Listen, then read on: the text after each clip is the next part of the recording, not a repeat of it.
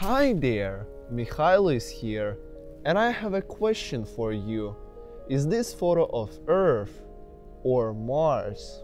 Maybe it's Mars because, you know, the red planet has these reddish deserts, dark mountains, and there are almost zero clouds.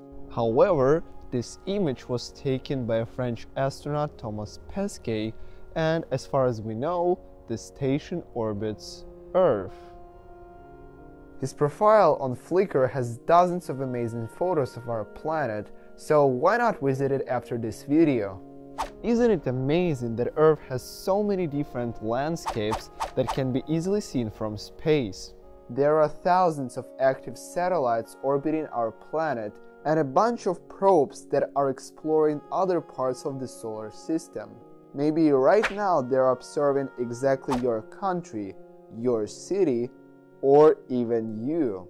In this video, we're going to have a look at the most extraordinary images of our planet, and trust me, there will be photos that will definitely make you feel small. Carry on watching this video, because we'll be very interesting. Why don't we start with the year 1946, the dawn of the Cold War, Italy abolished monarchy, and the first photo of Earth was taken from space. This blurry piece of history was captured by a German V-2 rocket at a distance of 65 miles from the surface of the planet. Even though this is a dull black and white picture, it was a very big deal back in the 1940s. One year later, American scientists managed to capture another but more interesting image of Earth clouds, this time at an altitude of 100 miles. And yes, Earth is not flat. But just 100 miles? This is not interesting at all. What will happen if we travel a little bit further into space? Let's say 22,300 miles from Earth. At this exact distance, the satellite ATS-1 captured the very first photo of Earth and the Moon together.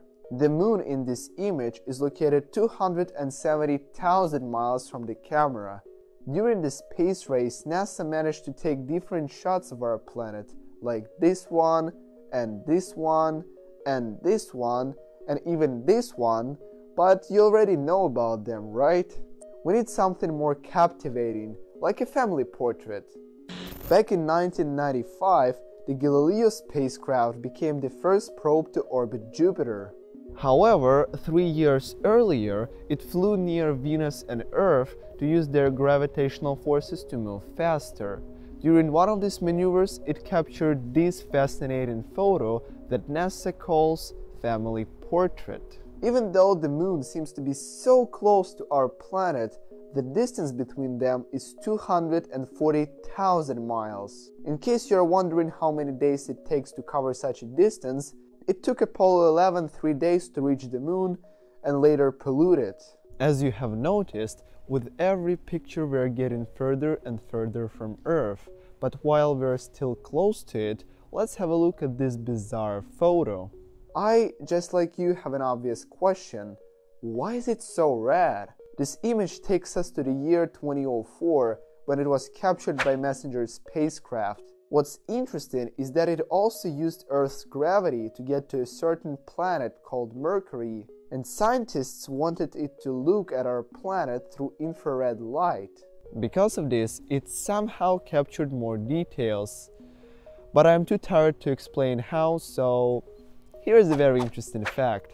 Healthy plants reflect more infrared light than stressed plants, so bright red indicates dense forests. Good job, Brazil. Apart from pictures that I mentioned earlier, there are thousands of beautiful images that show all possible locations on our planet. However, we don't have much time to see all of them, so why don't we start our journey to other planets? While traveling further into space, the smaller our planet looks like.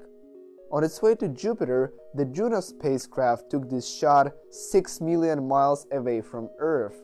Two years later, just like many interplanetary probes, it had to fly past Earth, and not only did it receive a boost in speed, but it also sent to us a stunning animation of our home planet. But what about 114 million miles? It's even more than the distance between the Sun and Earth, but it wasn't the problem for the Messenger spacecraft to look back and capture this view of our planet. Looks pretty neat, and yes, this small dot near Earth is the Moon, and not an asteroid that is going to wipe out our civilization. Unfortunately, I didn't manage to find any pictures of Earth taken from the Venus orbit. So let's pretend that this what average Venusians see when they look at our planet. Mars, on the other hand, has many sneaky probes, and these sneaky probes have cameras. Right now you're looking at the first shot of our planet taken from another. The image was received using Mars Reconnaissance Orbiter's camera, which can be compared to a small emitter telescope located 88 million miles from Earth. You know, if you want to immigrate to Mars, you can always take your telescope and have a look at our wonderful planet. This is, by the way, what it looks like in the Martian sky without any optical instruments. Earth in the sky seems brighter than Venus, and an observer would be able to see even the moon to the naked eye. Honestly, astronomy on Mars is a very interesting topic, so if you want me to make a video about it, leave your comment below. Boost my videos, please. Oh, how could I forget about spacecrafts in solar orbit? If you're interested in what Earth looks like from our star's orbit, just look at this image where you can see Venus, Earth, and Mars as seen by the NASA ESA solar orbiter. Maybe this is the kind of view that Starman sees in his Roadster. Anyway, let's proceed further into the solar system, and since Jupiter is not that important, we'll just skip it. You all probably already saw this picture where gorgeous Saturn is shining magnificently and Earth is a small star right here. Also, you can see Mars. However, another image is more interesting and even tragic in my opinion. This view from NASA's Cassini spacecraft shows Earth between the icy rings of Saturn. The probe captured the view on April 12, 2017, and it was 870 million miles away from Earth. It was the last time when Cassini was able to look at our planet. Just five months later, its mission would be over, and it burned up in Saturn's atmosphere, never to send any images again. I hope that this video was quite useful for you.